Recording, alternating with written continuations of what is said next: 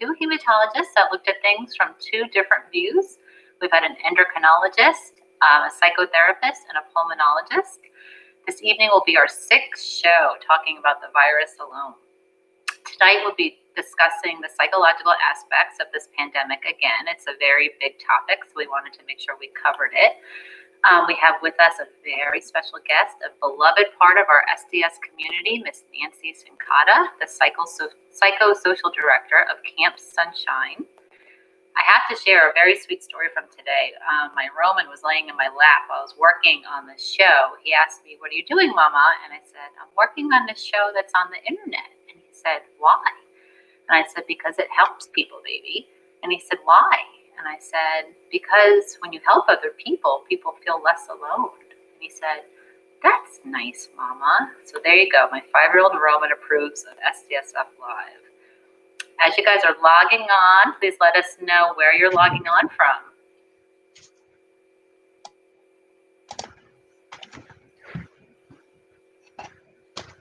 Michelle, where's your mask?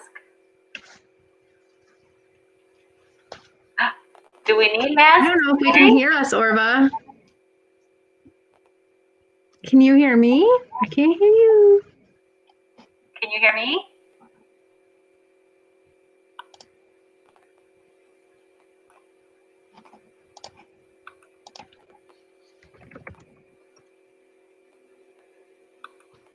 Can you hear me?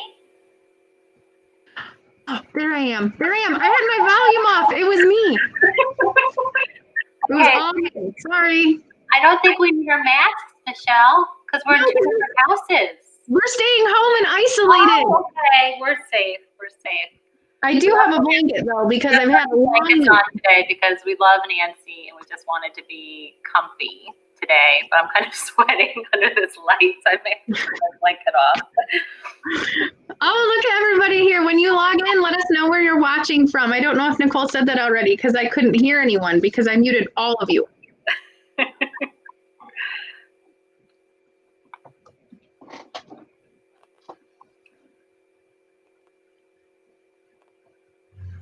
How is everyone doing? This is our mental health check-in. Hi,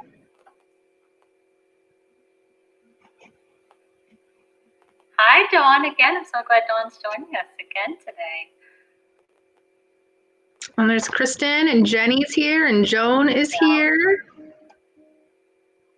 And Jackie. Look at everyone coming in. I love it. Welcome, welcome, welcome. We are excited to have another week with you guys. You're going to get sick of seeing us soon. Or maybe not. Who knows? Good job coughing into your elbow. I know. I was like, I'm by myself, but.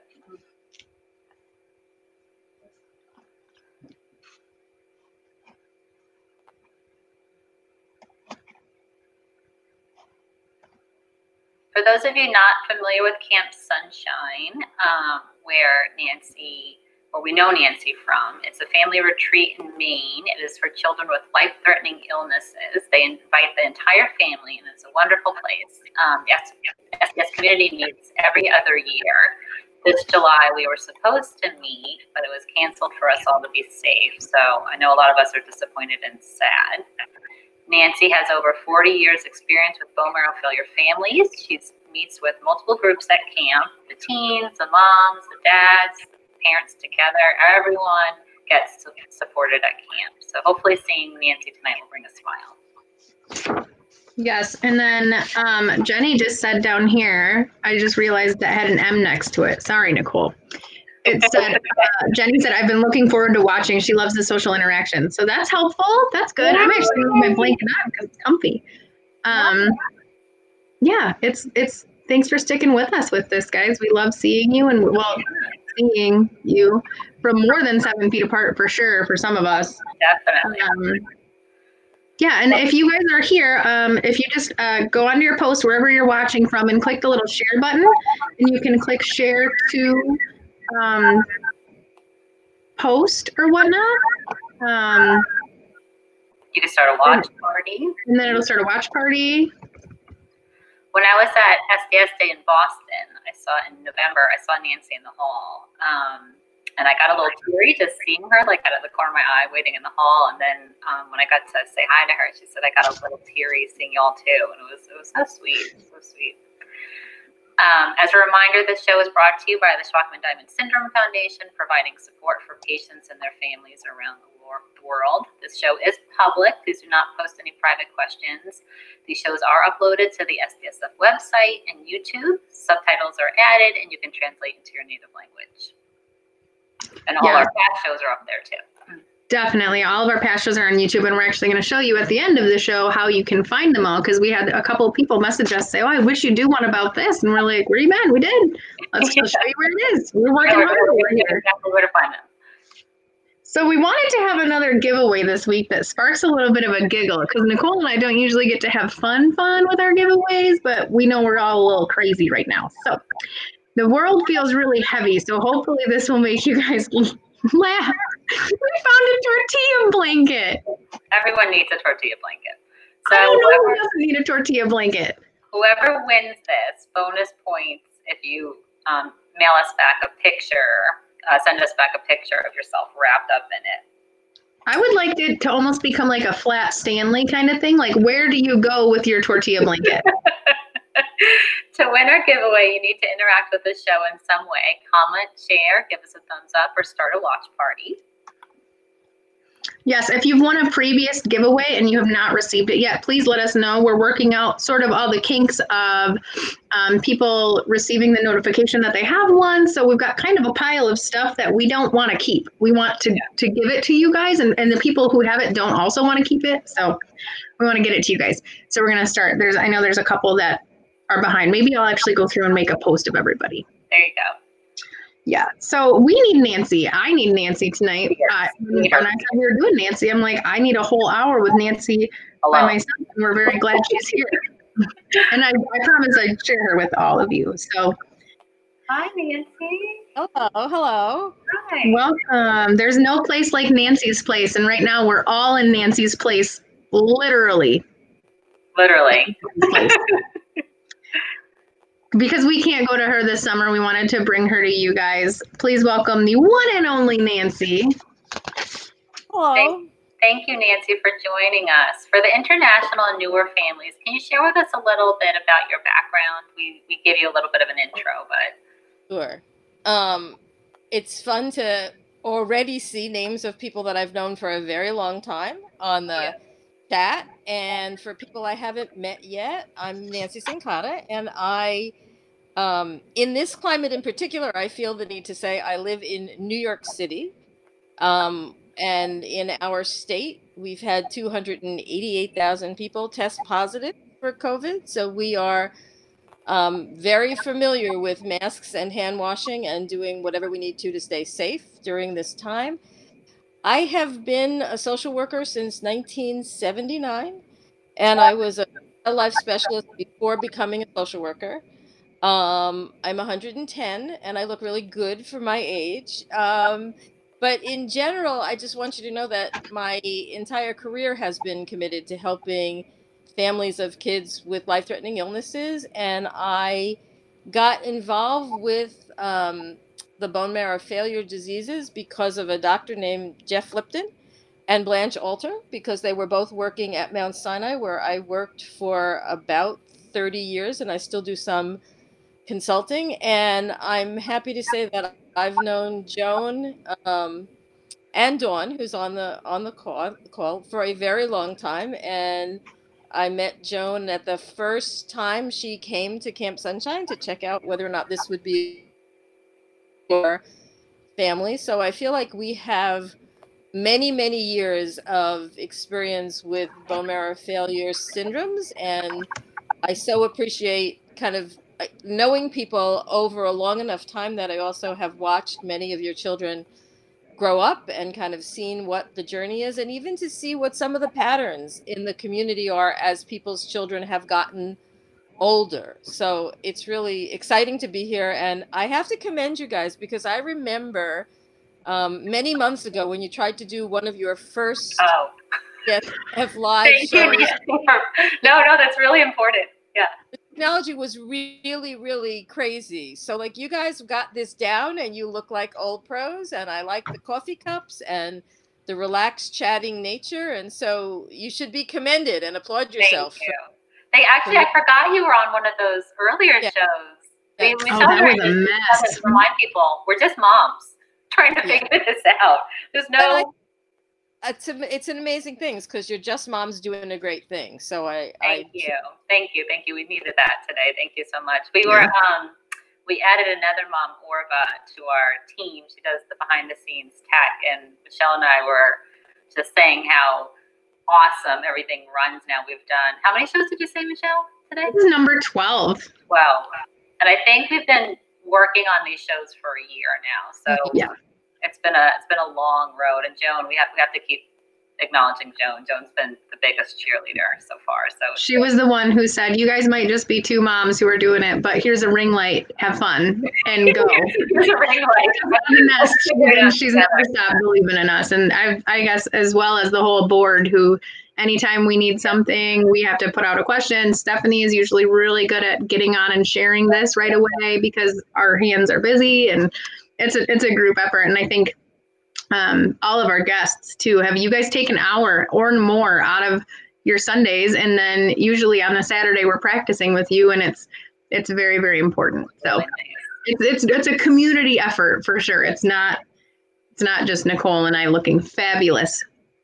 Nancy, before we jump into us, Mhm. I think it's important to acknowledge that this is a global situation that's happening. It's we forget sometimes, um, you know, the people that support us, our doctors, our therapists, we forget like they have lives too, and they go home to someplace too, and they have families. So we, we want to check in with you. How are you doing?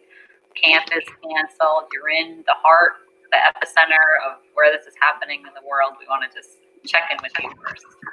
Well, so A, I appreciate you checking in. A lot of people, a lot of families and volunteers and staff checking in with us because um, although people see us in Maine, we truly live in New York City. And um, we would be lying to say it's not stressful and complicated here in New York. I was um, sharing with you before that also, I think everybody in the city feels like they have some symptoms and that in fact in our household with three of us we each have some symptoms and when you combine them you would feel as though we certainly had covid and i think it was surprising for you to hear that it's really not easy to get tested in new york city so it's really unless you are quite ill you are not going to find yourself in a position I didn't. I didn't know that. My mom works on a hos- in a hospital on Long Island, and um, I'm pretty sure if she needed to get tested, she would have have access to be tested. But talking to you today, I was like, "Are you getting tested?" And I just thought it, you would be able to get tested. So I'm so sorry for that extra stress you're having right now. And that's but since we're not really leaving the house and we're not really doing um, very many things, it's just interesting to see how life is different for us. And I think, you know, a lot of my life has been about running large groups of people. It's kind of like the opposite of social distancing. So it has been really interesting in these last couple of months to rethink how you connect with people and what you do and when it's not in person and when I never I really didn't know Zoom before these past, you know, 6 8 weeks and I how much it works as a a medium for people to talk to each other on and to be connected and I think it's really been helpful for people. So uh, again, I think we're in the middle of this with you and I think that's an important piece of what's happening in our country today that a lot of us are in the middle of something together. When you live, you know, in your houses with a child with Shwachman-Diamond syndrome or an adult with Shwachman-Diamond syndrome, you you kind of it's true that it's a rare disease, but you know each other, so it feels a little bit less rare. Well, when you're dealing with COVID, it's like it is not rare. Eh, The disease is different for everybody, and the symptoms are different for everybody.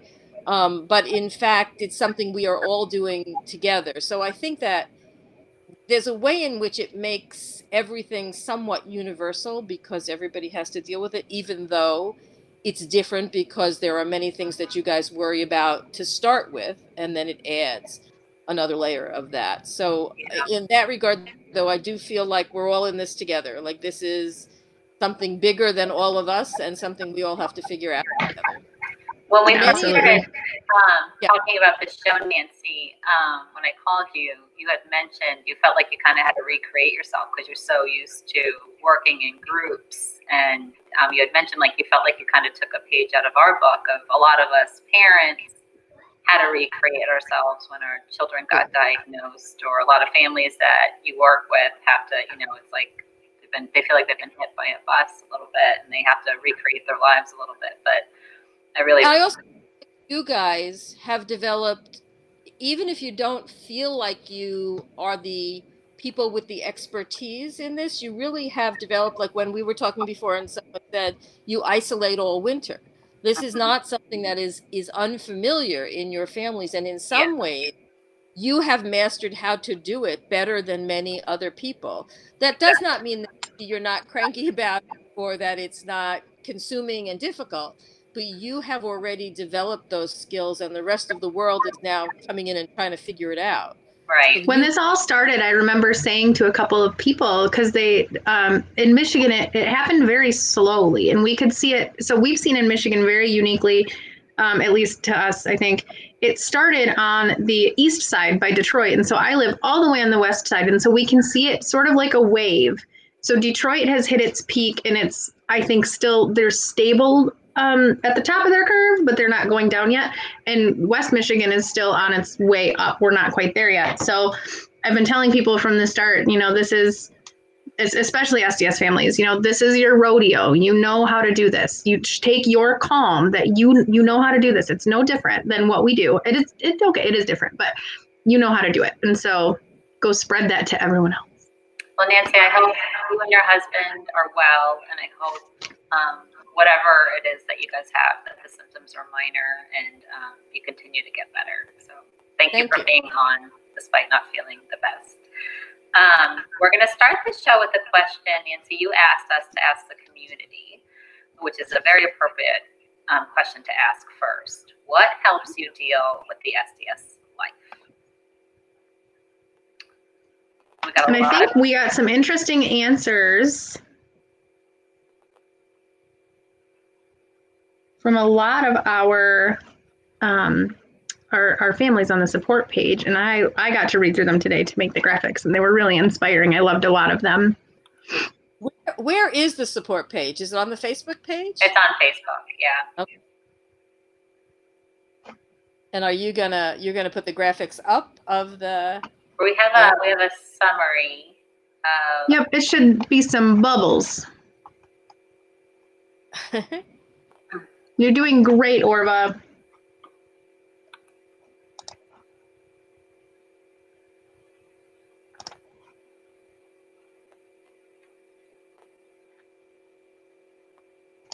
Some of the universal answers, there we go. So some of the universal answers were just, um, a lot of them had said there that uh, people found blessings in the middle of the chaos. I really like that one. That one resonated with me. Um, people were learning to let go and share the burden with their significant other and family members, which personally is something really hard for me to do is to let other people help because I'm very controlling of environments when life is crazy. Um, appreciating your child's strengths, bravery, and resiliency. That's a big one. I was I've been speaking about this a lot with other families. That um, the patients sometimes the symptoms keep coming, and you kind of get a break sometimes from symptoms, and then there's a new set of symptoms. Um, I think I shared last last show that my son has some new symptoms. Well, new new diagnosis to us, not huge big deals, but I, I kind of it kind of hit me harder than it maybe would have, especially because we're in the middle of a pandemic, maybe. But um, it's uh, another SDS mom reminded me that Roman's been functioning with these things for a long time and figured out workarounds, and now I have um, information, and now I can work with him on that, and so that really calmed me down. Um, Hearing that, and so our, our, our kids do are very resilient. They they figure things out on their own sometimes. and and part I of don't your kids are very resilient is because of your own resilience. Oh, right? I think that there's an interesting parallel for kids that they feel like they can cope with anything because they watch their parents feel like they can cope with things. So I think that resilience is a family affair. And I think that it is it is it is great to hear someone remind you you've already been doing this, right? And then I think you, you said something that I want to just react to, which is I also think everything feels a little bit more stressful when you're in the middle of a pandemic. yeah. Wow. to everything and that we're in a world that nobody has experienced before and nobody's had to cope with so like i think it's good that we have the ability to kind of also just throw it in to just acknowledge that in fact we're in new ground and maybe things that might not have felt as stressful at one point in time feel more stressful now because there's an underlying edge of other things that feel stressful but again to commend yourselves for your resilience. I know that many of you um, know that i frequently ask the question like what have you learned about yourself since your child was diagnosed? And really nine times out of ten the answer from parents that i get is that people have found themselves to be stronger than they think they were right? And that and i think that's an interesting thing to think about that um, even though it takes some time to acclimate to feeling stronger, there is a way in which you do become very capable on this journey. That's a good reminder, Nancy, because you know we're still acclimating to this virus that we're all dealing with, and we had to acclimate to SDS life. It was a learning curve for us with all this, so we're still kind of in the beginning stages of all Well, this. Right. When you think about it, right? People would tell you emotionally not to make any decisions within like the first six weeks of a trauma or a new diagnosis or a new thing, right?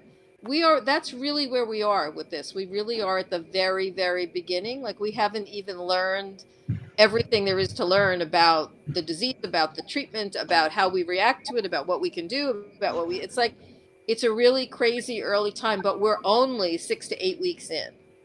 And so that to remember that this will feel better when it becomes more familiar. It's such a good reminder. When it first started and everyone had asked, you know, what do you need? What can I get you? And I said, I'm we're okay. Like we always stock up two, three weeks on groceries because Nathan doesn't go into a grocery store. And so we always the one thing that's really hit hard for us is that we normally have some form of respite from my sisters and they're unable to give us respite. So Justin and I are having to figure out how to struggle a little. But I was worried because the supplies we normally buy on any given week, the excess toilet paper, the hand sanitizer, all of it, I can't. And so the things I'm used to doing, which are normal for us, I can't do. And so that's sort of my stressful The point. supplies really stressed me out. It really, I was crying in the parking lot. I was, I, I could not believe the things that we normally get: the Clorox wipes, the hand sanitizer, the Okay. food. Our kids are very picky about food and have a lot of feeding issues. It was, it was. Down in down in Texas, they're just buying all the vegan cheese. they, they bought everything. We just wiped everything out. Are you able to get groceries there, Nancy? Um, I would say eight weeks ago we were going to the supermarket, and then we started to try to order food, which we're still doing. But if I can give you an example, like if you're trying to order from Costco and it says it's going to be a two day delivery, it's more like a 12 day delivery. Like you don't know. Interesting enough that you kind of forget what you've ordered by the time the order comes. So there is a degree of creativity. Um, Yeah. And there are things you never thought of before, right? Like like kind of looking for yogurt um, in a store that's not a supermarket because maybe you don't want to go into the supermarket because you're worried. Um, is an interesting challenge. Yeah. So there are things like we've been. I mean, as an example, we've been going out for a walk at 11:30 at night yeah. because you want it to be a time when there's no one on the street Right. um, and you certainly have masks and gloves and it's still you work hard to be sure that you're going to avoid people but certainly all the stores are closed and many by that point and many are closed in general so you have to be creative and you have to be very thoughtful about what you're doing and flexible yeah. so we do have food, but in those caveats we have. Yeah. Wow. Today was a particularly sunny day in Michigan, which I don't know if you know Michigan doesn't happen very often. It's it's it's really gray here a lot sometimes. And Justin, my husband, had woke up and he's like, I can't wait, I'm gonna go for a bike ride. And I said, Hey, you realize everyone's going for a bike ride right now? And this is what we do. It's I mean, like we were talking about our normal, it's when it's nice and sunny out, that's when we would go to the play place because everyone's there when it's raining. And so my kids have always sort of lived this this weird opposite lifestyle and I agree.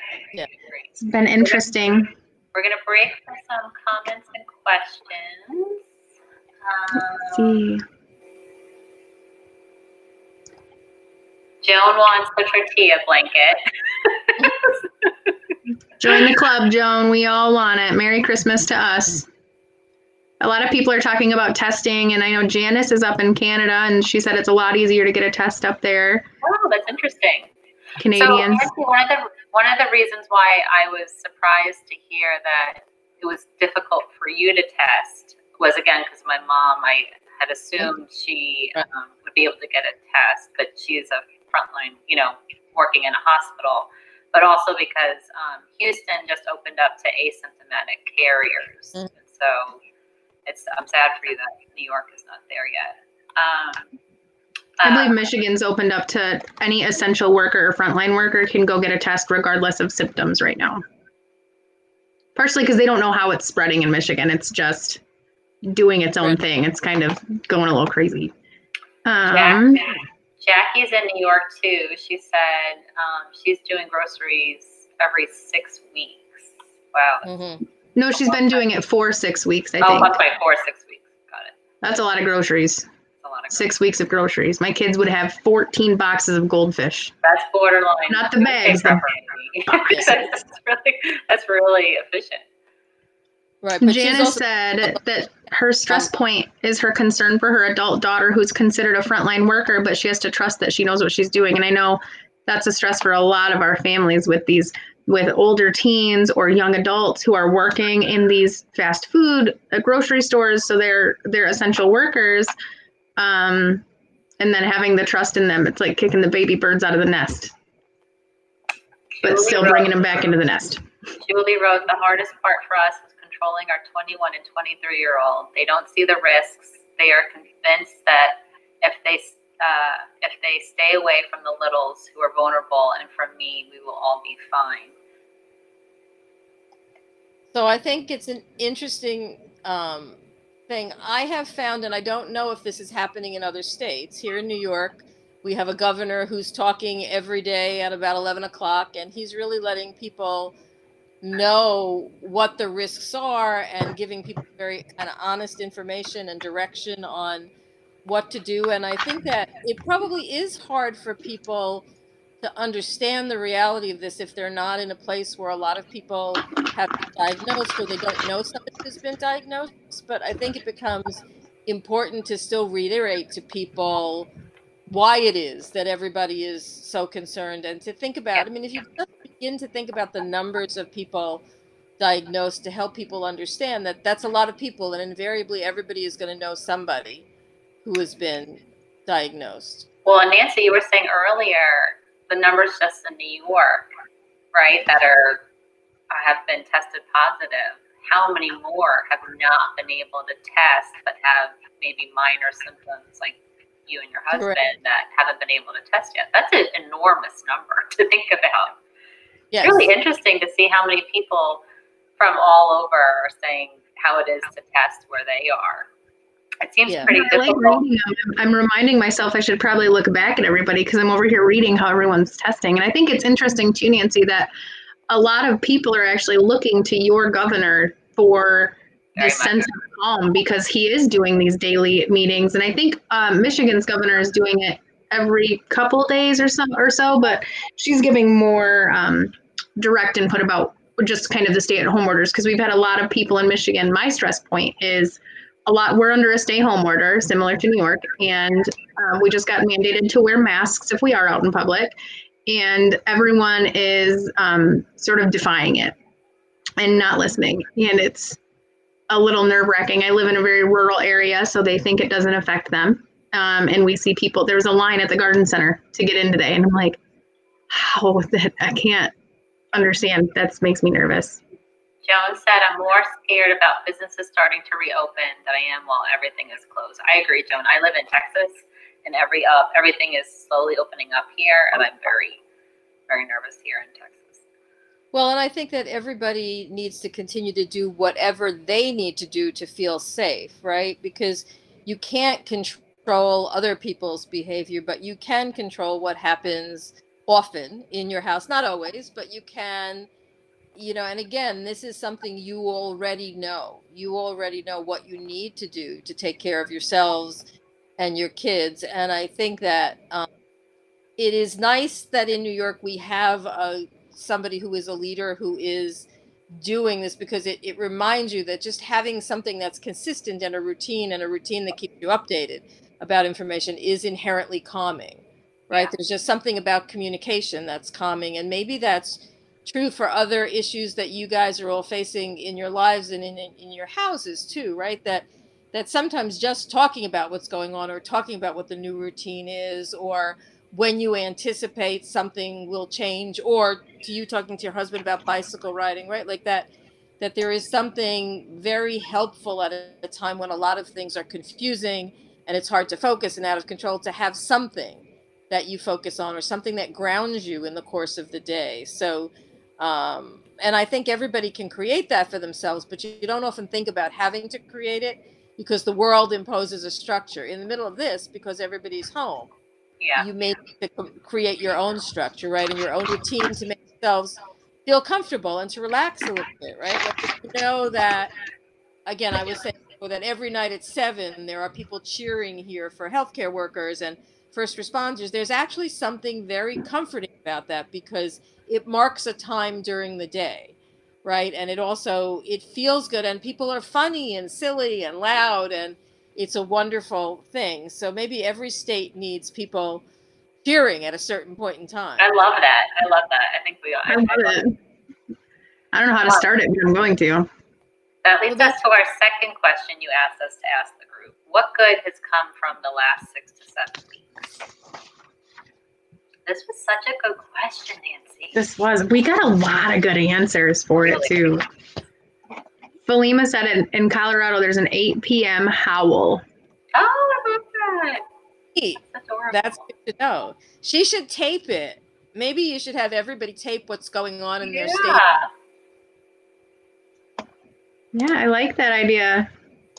So some of the good people said was um, environment is getting cleaner. Um, people are able to spend more time with families. Um, they're able to lean on their significant others a little more. Some people are rediscovering hidden talents that they had. Um, what were some others, Michelle? Do you remember? Have you one that I really liked, and I was actually excited to see earlier that she's here is she had this comment that said, um, oh, there it is. And I kind of combined it with another one. I squished it, but it says rediscovering hidden talents and favorite activities. So one of our little SDS troopers is actually loves to be a baker. And I'm assuming with daily life and the crazy, you don't get a chance to be a baker. And so when we were talking about grocery deliveries, she said it's sort of like chopped every night in her kitchen and I think that's awesome. I think that it's, I know in my house, we've definitely taken a lot of time to just slow down and start to um, appreciate what we already have, which is another one that was said that they were appreciating what they have instead of what they want um, and, and realizing what's a want versus what's a need. Someone said they like to be bored. It feels great not to have to rush everything. Um, and similar to what Nancy said about knowing that at seven o'clock there's going to pe- be people howling out of their windows, uh, they, they a lot of people are getting better in their routines that they didn't have time to necessarily implement before or consistently implement them. Um, that's definitely been true in my house. And I like that Julie just typed in that they're learning that there's so many things that can be done from home. Yeah. yeah. Feels like you can't do it, and then you realize you find a way to do a variety of things. I'm going to tell you guys something, but I don't want you to laugh. I, before this, have never made homemade biscuits. Never. And I think I've made like three batches of homemade biscuits since this started because I can't buy any. I I'm making a lot of things from scratch too. I'm making a lot of things from scratch because I can't get all I can't um, get what I normally would get. I, I I do make a lot of things from scratch anyway, but I I don't. More into figuring that out. I need um I need a chopped lesson because I, I was like um, I don't know how to make biscuits. And I don't have biscuits. I can't make that without biscuits. And then my mom, I love my mom. If she's here, I love you, mom. She was like, "Do you have flour?" I'm like, well, yeah. She was, "Do you, do you have this?" I'm like, well, yeah. And she's like, "Then go make biscuits." I'm like, but I can't just go make biscuits. Well, now Whitney is saying that um, she works for the Mental Health Association, and they have a list of things on their website. So maybe she could share that website and then yes, she did. That was really she did right below it. Yep. Thank you, Whitney, for that. Soda, which sounds lovely. People could paint rocks in every state. Um, and I can't. There's a long chat, but I can't. I've lost some of it. Um, I think it's from Dina. She says, uh, or Deanna, sorry. I work at Target. Switched to overnights to avoid the public and only let limited staff in. The routines are all off, but we're managing. What's scary is Target stopped taking any returns until today. Tomorrow they'll start again and quarantine clean items before restocking. I'd be very concerned if I had to work at guest service and after three days, how you will know the condition of those items. New Jersey did pass a new law on what can be returned, but it's still very scary. Julie said her husband learned how to cook. Bonus. Total bonus. That's great. Right. Sadie is baking a pan of brownies from scratch about every other day. I would uh, love some of those. You can just send them right over here. Um, Joan says she's making all the recipes she's been saying she wants to and never gets around to trying. Julie has no idea how to make biscuits. Me either. I'll send you the Google recipe I found. It doesn't work really well, and I, maybe it's just me. Maybe Sadie can teach us how to make biscuits. We're finding in my house, we used to drive Roman around a lot um, to a lot of different places. Um, and now we don't have to drive all those places. So it's more family time, more quality time. Um, another SDS mom recently posted on her own page, or I think maybe the support page, that um, the, the appointments have been moving to telehealth. So what a normal appointment would be is driving 40 plus minutes to the doctor, then the waiting room whole extravaganza, Clorox wiping everything, making sure your kid doesn't touch everything, the sibling might be there, and you know, then the whole doctor experience, and then the whole drive home. Now it's just a phone call. so it's, it's a lot easier for all that, especially the amount of doctors our kids see. Hmm. Definitely. Pam said over here in the comments that she's making masks and ear savers for the local hospital. And I think that's a good point too, is that one of the things, I don't know if it made it onto the graphic, but one of the, the objects selected um, or, or sent in was that they're seeing all the good in the world. So they're seeing all of these these 12, 13 year old kids who had a 3D printer and they're like, look what I made. I'm saving everything. All of the plants that are, at least in Michigan, I know a lot of our automotive plants are, are making respirators and ventilators. Um, it's just, I like seeing the good in people. And, and I'm literally sitting next to my sewing machine and my piles of fabric that are waiting to become masks because it's something I can do with my hands to help others, and I think it's it's it's very cool to see. A lot of people are, a lot of people are saying that um, hopefully we can keep some of this stuff that we've been able to rediscover at this time. Which is cool. Yeah, I would love it if all of our stores, at least around here, they they've been closing at like 7 p.m. and they're almost all 24 hours all the time. So the ones that are open are closing overnight. I think they closed early on Easter, I'm like, that's let's keep doing that. Like, let's keep showing them. I mean, please keep a third shift, maybe stock and clean, but I don't know. I just love it. I think I think Nancy is setting the stage for us, Nicole, that we are stronger than we think we are. And I'm pretty sure she's already confirmed that she said that. I we didn't you like that. Let's remind us of that.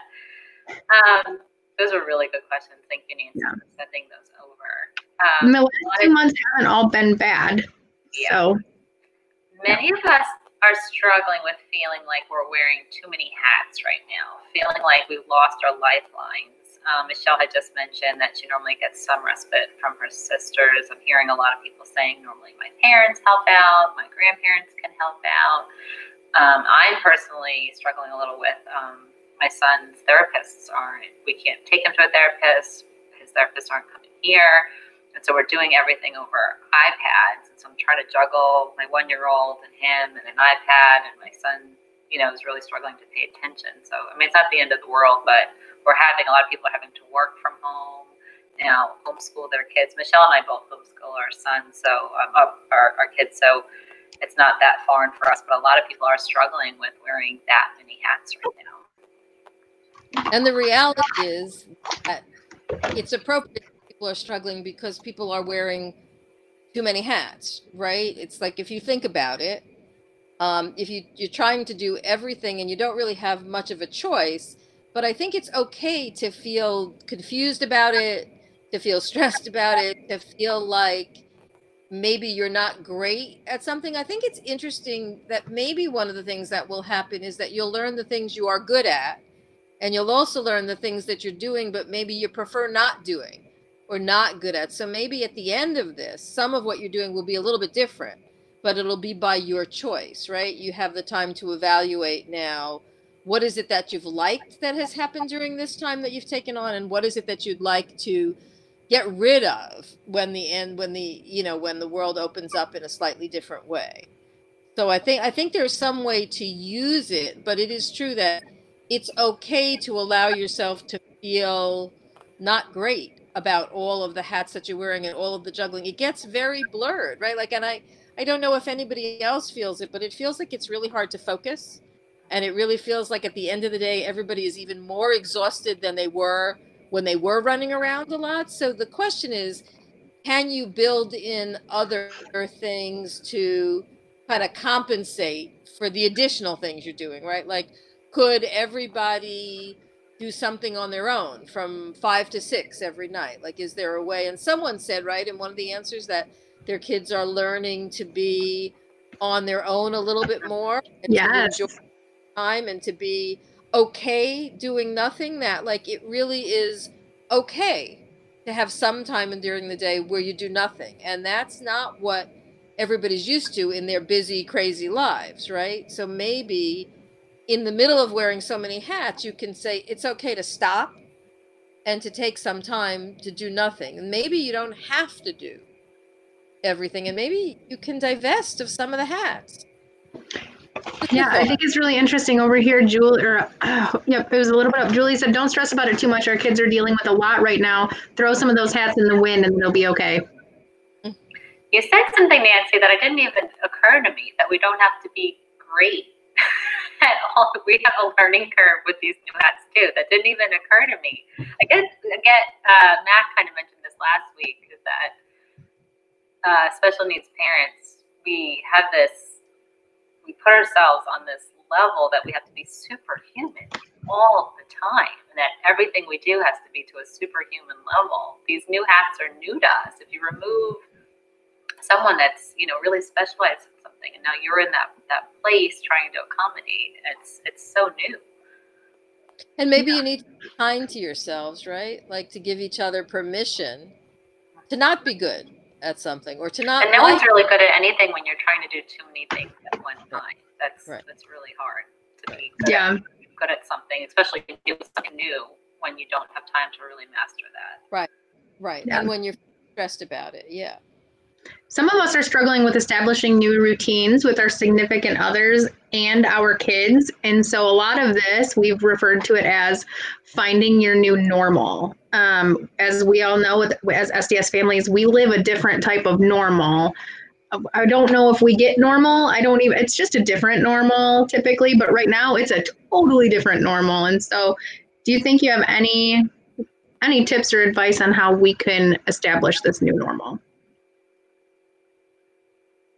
Well, so I one of the things that I said to Nicole before is that we're like not really going to solve all the problems of the world in this hour, but if you think about it, I think that if everybody at baseline understands that this is a new and stressful normal, right? And that maybe everybody in the family should pick one thing they want to do or achieve on a day or one time when they want to do certain things or you know maybe you're going to have game night at again like i like the seven o'clock time or different times where so that within the new normal everybody's making some choices and then that you understand that at the end of this maybe you all decide together which are the things you're keeping and which are the things you're changing and maybe you thought the new normal you had was great. But my sense is that everybody actually always has things that they want to be a little bit different in their lives. So maybe the new, new normal is like pandemic normal, right? Like, what do you do now that you couldn't do before? And I, and I think that, uh, I mean, again, this is a moving target. And I think that's the other thing that like changes in the air. We don't know where this is going to end or how it's going to land or when there's going to be an immunization. So it's in some ways, if you can see this as like a little bit of a temporary time and a building time and a growing time, knowing that there will be an end to it. And that way, it's a little bit different than some of what your life dealing with a medical issue that's not going to go away, right? Like this is going to change. And I think the thing to prepare yourself for too is you need to let yourself this is going to sound crazy so i apologize because it's the pandemic is a very serious thing but there are moments of it that you can enjoy because the rest of the world is not doing those other things either so in a way you can have some camaraderie with those people in your life who are not sds families right who who maybe are going to be washing their hands more and being more worried about things and using more Clorox wipes. And where are all the Clorox wipes in the world? They seem to be gone. Totally they gone. seem to be somewhere else. And we're all, who knew that the thing you would be missing, like it's not Godiva chocolate, it's not the best wine in town, it's the Clorox wipes that everybody. And the toilet paper. Toilet the paper. Toilet. And the toilet so paper. I, in the creating of new routines, maybe you just have to think about creating little things. Create five minute projects. Create, you know, um, there's someone I know who used to take like five minute power naps, right?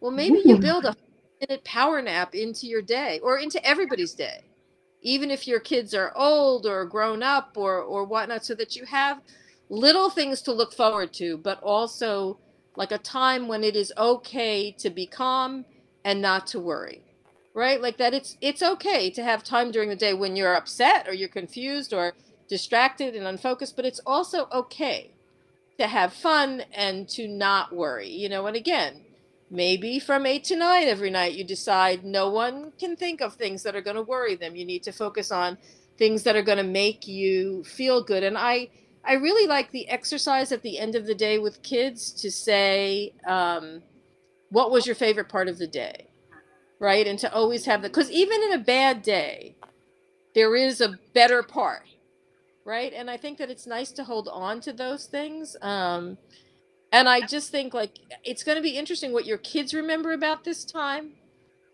is what you remember about this time right like um i know one mom who just like when her kid was getting chemotherapy and came home post chemotherapy, she baked with him all the time. And really, what he remembers is the baking, right? And now he loves to bake. You know, now he's 20 and he loves to bake. So, some of the things that you do during the course of the day are going to be the things your kids hold on to about this time. So, I think I'm going to start a mandatory.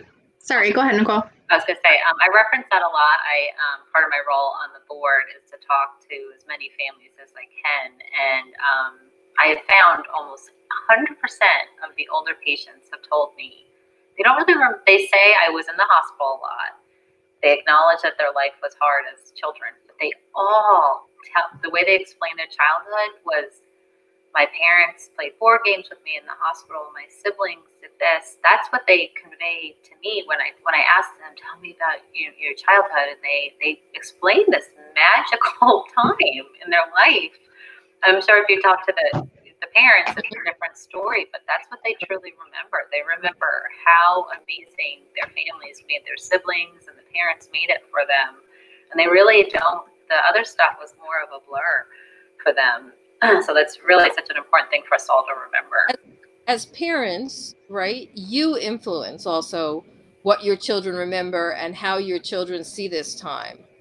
So if you see this time as an incredibly stressful time, then that will help them see it as an incredibly stressful time. But if you see this time as an adventure where you're changing up some of the patterns and you're learning new things about yourself and you're spending more time together, those messages will come through to them and those things will be calming yeah. to them because in their world, you regulate the way the world feels and how wonderful it is that you can do that for your kids. So you just need to have that feeling of things are going to be calm and things are going to be okay. And then you need to be able to translate it. And I think if you give yourself permission to feel whatever you feel when you feel it, and then to move away from it and to, again, relax a little bit, I think that that will help you and help your children.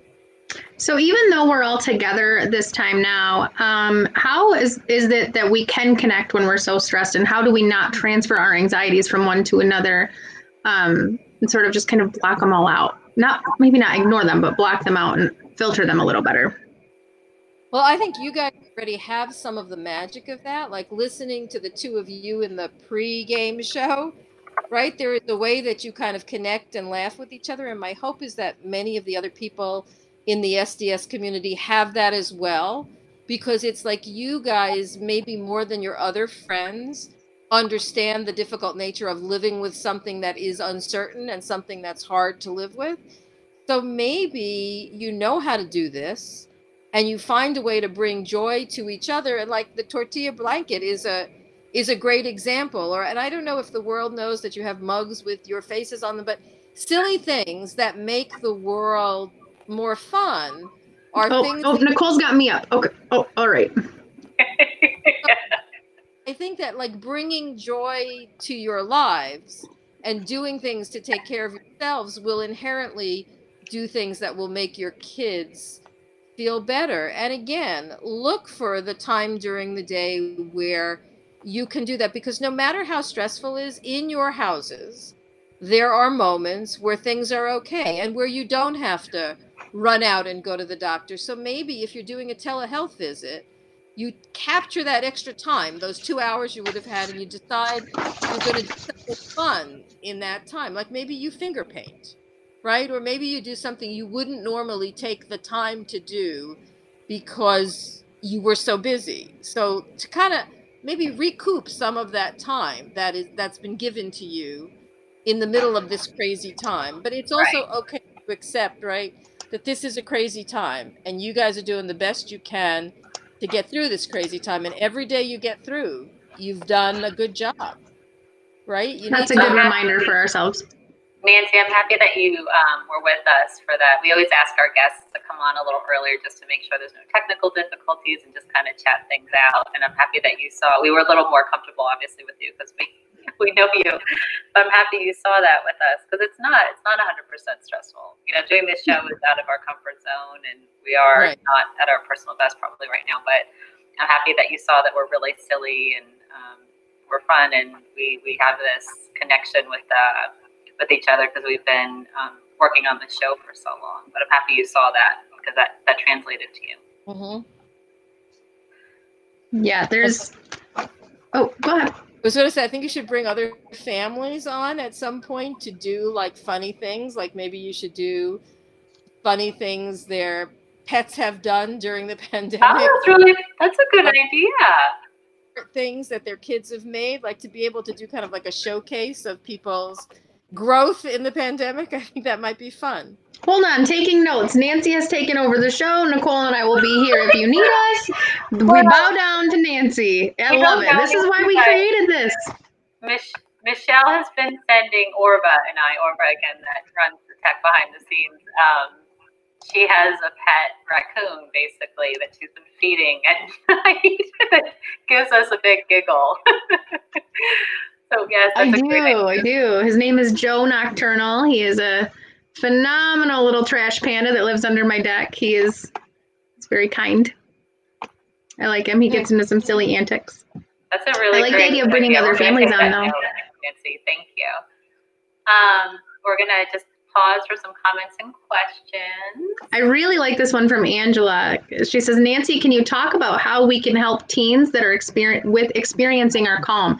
I feel like this is harder when they have more access to others in the world through Zoom with friends or with social media. So it's not as easy as a, you know, my third, not my third grader, she's in fifth grade. I don't know what I'm talking about. My younger kids who don't have all of that access. You know, I wonder if you could help your teenagers teach you some things. Right? Like, could there, there be a learning process where your teens are the teachers, whether it's about Zoom or something on social media or something you don't know how to do, where they can kind of educate you so that they're taking on a slightly different role in your house and it puts you in a position where you're talking to them about something that is not the pandemic and not SDS and not those other things.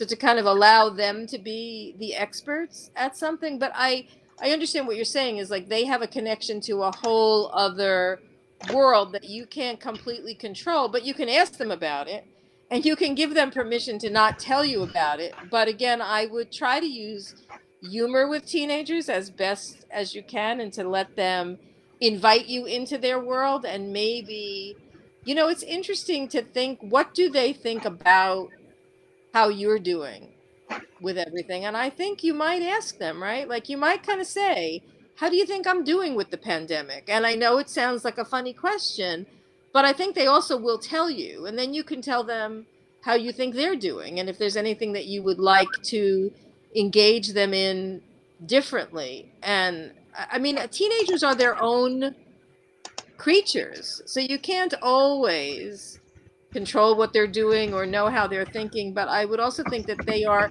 in a different position than your other kids to understand what's going on. So I would also give them an opportunity to talk not around other children, but kind of on their own. And I don't know, again, I don't know how many people are going out of the house or what you're doing, but could you have teen time? Like, could you go for a walk with a mask with a teenager and kind of try to build a separate time for them so that they can feel also special in this and that you understand that they understand this more than their younger siblings do. And you wonder what they're going to remember and what they're going to take away. And do they have a goal for this time? Like is there something they'd like to achieve while they're in the house cooped up with you? Or is there a new game you can all learn how to play um, and let them let them be the leaders so that they have an opportunity to feel a degree of competence and growth as well. I think Whitney that's very important. Whitney said a lot of teens are teaching their parents TikTok dances. I love that. I love mm-hmm. that. Actually, we have that idea coming up on a later SDSF Live for a TikTok dance. Nicole and I are not doing a TikTok dance. Don't get oh. excited. It's not us. Not I was a former professional dancer. Don't speak for me. I'm gonna I'm gonna Nicole do can do a TikTok dance. I actually had to download the app because, like Nicole said, we do have something planned coming up with um, um, some other friends in yellow shirts involving TikTok, and we had to ask them. I'm like, I don't know what this is, and so I downloaded the app, and it confused me even more. And so then I tried to do one, and I just look ridiculous. I can't. I know, I don't know what I was doing, but I like watching other people invite us to that. Please be oh. sure. Oh, Nancy, we're gonna make you do the TikTok dance. I have a question for TikTok though, because we're all talking about TikTok in the comments. I know we're almost to our hour. Sorry, we might go over a little bit.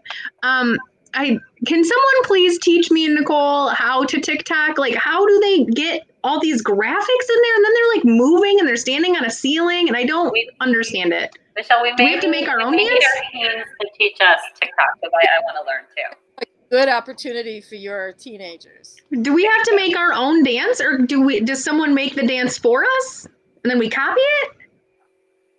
I don't we have know. Uh, two two more quick questions to get through. Sorry, we're going a little over tonight. Um, the next one is um, there's a, a heightened awareness of ourselves getting sick, um, and not being available to our children, uh, possibly our parents getting sick, the grandparents of our kids getting sick. Um, so there, there's already like an underlying worry a lot about our children getting sick, or the patients themselves might feel a little underlying worry about themselves getting sick. But now we have the multiple layers of the caretakers a little more worried about getting sick. The you know the support people, our, our parents, the grandparents. What if they get sick as well? Is the whole family going to get sick? That's a lot of layers of worry um, together. Yeah, I would agree that there is a lot of worry.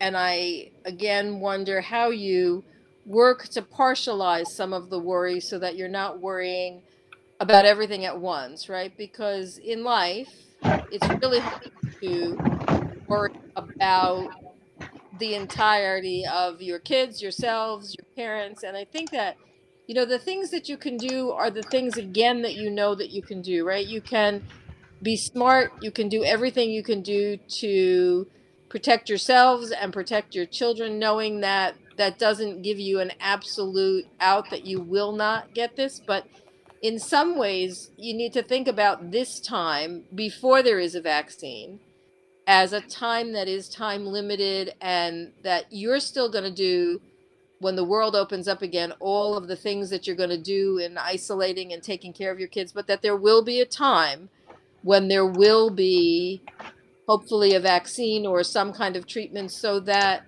the worry will change. Maybe if you understand that the worry will change, it makes the worry in the moment a little bit different. But I think that it's also okay to let yourselves feel vulnerable and to accept that that's not a great feeling and nobody nobody feels good about it. You guys have again a place where you start because your children have Shwachman-Diamond syndrome or you have SDS, but I think that in a way, worrying is a complicated thing. It doesn't really help, right? Because you worry that you you worry about something that could happen that maybe won't happen, right? And I have one very um, capable father who used to say, um, "Don't don't pay twice, right? Like don't make yourself so crazy about everything that even when things are going okay, you're worrying about things going badly, right? And I think that in in some ways, if you could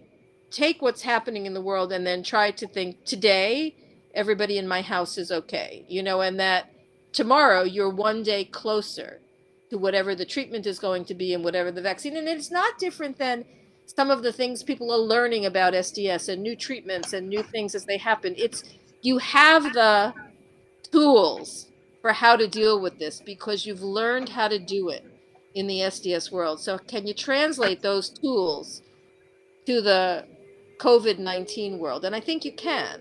I think if you think about who you are and what you do, that you can do that. But that doesn't mean you shouldn't yell at your parents to be very careful in what they do and that you should try to encourage everybody to social distance and that you shouldn't wear masks. You should do all of those things that keep you in the lowest risk category.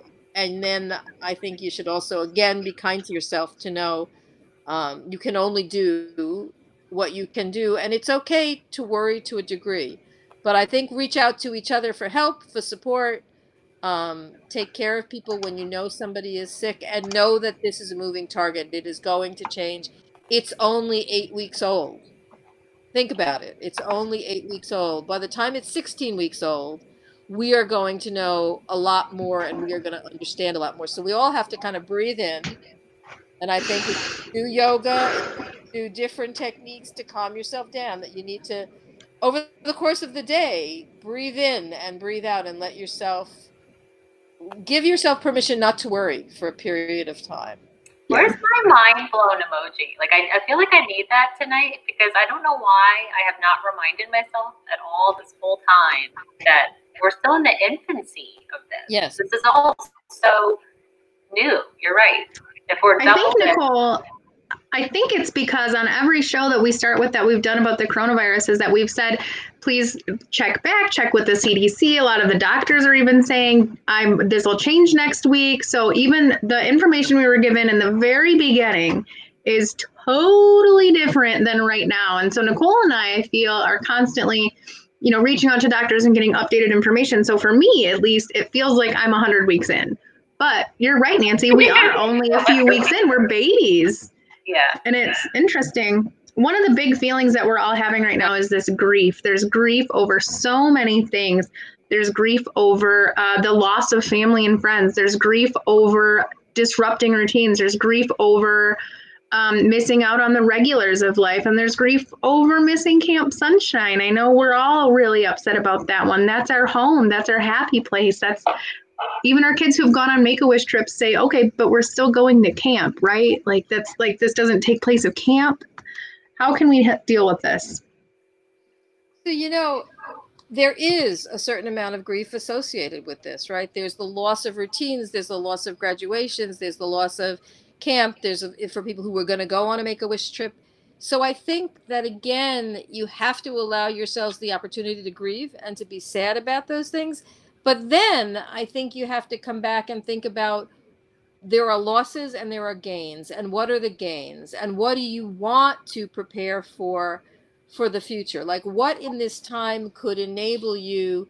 I'm going to go back to Governor Cuomo, who's like, how do you make what you had better?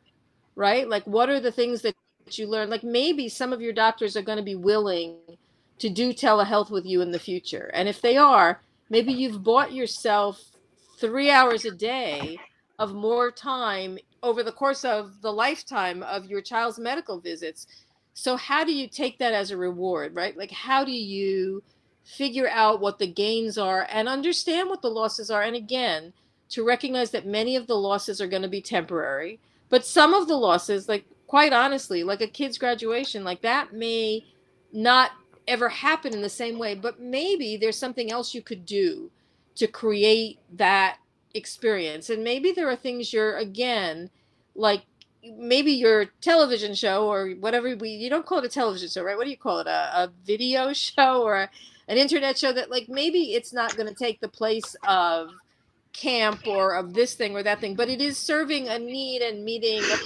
so maybe what's going to happen is that there's a whole world out there that we haven't explored and that you're going to explore it because you're in this situation and you're going to find things that bring joy and bring satisfaction. But the way you will accept those things is if you let yourself grieve the loss of them some things and and hopefully those losses are temporary right? Like everybody's going to remember who graduated during the pandemic even though they're not going to remember the graduation ceremony right? And i think that that's what will be when you come back together with everybody at camp sunshine at an sds day whenever those things are you will feel that joy again. So I think that thinking about loss as a temporary thing, but letting yourself feel that sense of loss is really okay because things have changed. And, you know, we don't talk a lot about crying and about different things, but it is really okay to let yourself have those moments and those feelings and to give your kids permission to say, like, this is a bummer. Like, this is nobody in the same way that you didn't choose to have SDS, mm-hmm. right? Nobody chooses a pandemic, right? Like this is not what any of us wanted for this time. And I think this is the place where universally we are all in the same place. This is not what we wanted, but this is what we have. So how do yeah. we deal with what we have? Because this is kind of here right now, you know, and again, there's going to be a time that we're going to look back at 2020 and we're going to say, "Do you remember when we did that show in 2020 and we did this and we did?" And it was who got that tortilla blanket, right? Like there's going to be who got that tortilla blanket. you have to keep doing things that are going to be memorable, right? You need to keep making memories. Don't have to come from the most dramatic thing or the things that we've known. They come from where we are now. So I think that it's important to think about like you're doing some of it and you're going to do more of it and i think for everybody who's also listening to this like to think about things that bring joy and happiness and maybe it doesn't take over for everything else but it helps you get through the moment Nancy, are you crying? It's not Nancy's place without some tears. I didn't get a tissue alert, but God, I didn't bring tissues into this. I'm gonna as soon as I get off, I'm gonna well, as soon as we put the kids to bed, I'm gonna rewatch this with my husband yeah. Peter because we like I feel like I was just in a session with you. I I know when we're at camp, like literally all we sometimes you just start with just say your name and you know like uh, where you're from and who your child is. I, I'm bawling, bawling just just at that point. We needed you so much tonight. Nancy. Thank There's you. so tissue boxes in Nancy's place on every other chair because we don't share very well because we all need them. Julie had a really good visualization for grief, and I think it's a beautiful thing to go out on. It's uh, Julie said, "I heard I heard it said once that you can feel the grief, but don't take a shower in it." Or oh, I'm sorry, feel the grief, just don't take a shower. But just take a shower. I can't read, but just take a shower in that grief, but don't soak in the tub with it. So feel it, allow yourself to feel it, and then let it go. And instead go take a detox bath. Thanks. Thank you, Orva. I can't I can't read things. Everyone else can read things. Let's can we just add Julie's picture there is a picture of her adult son that's in a, Yes. a group home and she was able to visit him after so many weeks. So that you could see his smile and I, I wish we could see the smile of Julie's face on the other side. Julie, thank you so much for sharing that that picture and that Yeah. story with us. Thank you so much. Nancy, you are beloved. You are adored. We we care about you so much. Please be safe. Thank you for joining us. Go get some rest. Goodbye. Yes, and I'll I'll keep you posted. okay. Okay. Thank you. Yes, let us know how you're doing. Check in with us. Not about us, about you, you know. Maybe us too. I don't know. Bye, Thank- Nancy. Thank you. Thank you.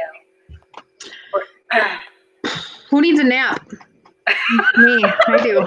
I need a nap. Where's my burrito blanket? Oh, we have our blankies right here. We're gonna. I know we're Ooh. running over, guys, but we're gonna um, just walk you through real fast. Like we we mentioned before, we've um, had a lot of feedback from y'all, which is great. That some of y'all have said, "Hey, can you have this show on da da da da?" And We're like, "Girl, we did a show on that." So we want to walk you through our um, YouTube channel. These are all um, uploaded on the Shwachman Diamond Syndrome Foundation page, but they're also on YouTube. So we're gonna walk you through how to find them on YouTube real quick. So this is our YouTube page. If you just go to youtube.com, go in the top search bar and type in Shwachman Diamond Syndrome Foundation, it'll bring you to the uh, red blood drop with the uh, the black S around it. When you click it, you can go to the top and go to playlists. That's where you're going to go in and find all of the SDSF lives. So there's some specifically about COVID 19. Those are in a playlist. There's all of them back from Be the Match, Camp, the Hot Mess Camp Sunshine that Nancy was talking about in the beginning. That's there. You can go back and laugh at Nicole and I for the first ever one we did. Um, another good one was Dr. Ross Green. That was a really good one. And then any any in regards to COVID nineteen, we'll say COVID nineteen in the title of them. So, So real um, fast, I'm going to go over the ones that we have done on COVID-19. So uh, we started with um, Dr. Tobin. If you go under videos, I think. I don't know that Dr. Tobin made it into the COVID nineteen one because it wasn't supposed to be, but then he talked about it. Yeah. So maybe if we could, we start at videos. Yeah, There, go to videos. So, perfect, originally perfect. On, there we go. We, he was originally on to talk about the diabetes study, and we kept postponing him and postponing him because we said, "Oh my goodness, we're in the middle of a pandemic. You know, everyone's concerned about this pandemic." But then we decided to have him on. But it was actually really good to have him on because the news kept saying if you have underlying conditions like diabetes. so we did wind up talking to him at the end about diabetes and COVID. And then we moved to poor Johnson, Dr. Johnson Liu. He he had to do so much work on his show because this virus was so brand new and bless his heart, as we say in Texas. He had to do a lot, a lot, a lot of work on on his show um, to talk about. Um, he's a he's an adult hematologist, um, and he was super helpful. And then we jumped over to Dr. Charlie McCaslin because um, again, they're talking about underlying lung issues. Um, he had to put a ton of work into his show as well. Um, he was so great. We had a lot of great feedback on his show. And then we went over to Dr. Seth Corey. Um, he is compiling tons and tons and tons of data and statistics, and he looks at he's a he's a, a, a, a pediatric hematologist, um, but he looks at things in such an interesting way. It was really, really great to talk to him. Um, his posts are really positive and calming. And then we went over to the psychological aspects with um, with our friend Mac, um, and then tonight with um, Nancy Cincotta. So, what is this? Six shows? Yeah, I think, let me count in my little head here. One, two, three, four, five. Yep, this is number six. Six. So um, we do not have, we have um, some other shows in the queue. Um, if, if we've missed a type of show that you want to hear about right now, um, specifically about the virus, let us know. We have advertised that we're going to be having a virtual camp. Um, we also have a fairly long list of other um, shows that we wanted to have outside of camp and COVID um, that are in the queue. Um, but we'll probably be launching our virtual camp shows soon. Um, but if you have a, an idea about the virus and something that would help make you feel calm, please let us know. Um, everything's still emerging, but thank you, Orva, for um, showing us um, how to find those. And Orva then, Wizard of the Year trophy. She is such, we call we call Orva our wizard because she's behind the scenes like the Wizard of Oz. Um, so as a reminder, um, how to win our burrito blanket. Um, share, like, um, start a watch party. Enter if you've commented. We will pick a winner that way. How that burrito blanket is awesome. it's so cute. Bonus points if you can send us a list of all the places you and your burrito blanket would travel. That would be really after you can. That'd be awesome. I love it.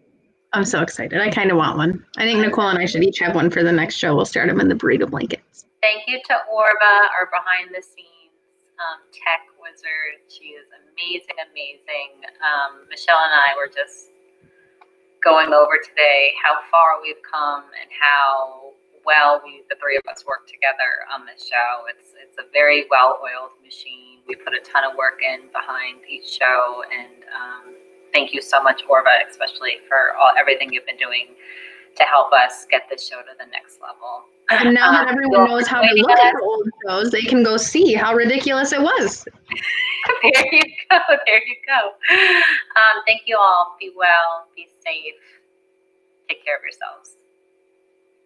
Wash your hands, Wash your drink hands. coffee, hug a friend from seven feet apart. I believe I saw in the comments that Janice opened up a Zoom meeting to go have like a 10, 10 it's something about quick. Ah, that's up in the comments. You'll find it. Thank you guys. Bye, guys. Have Bye-bye. a good week.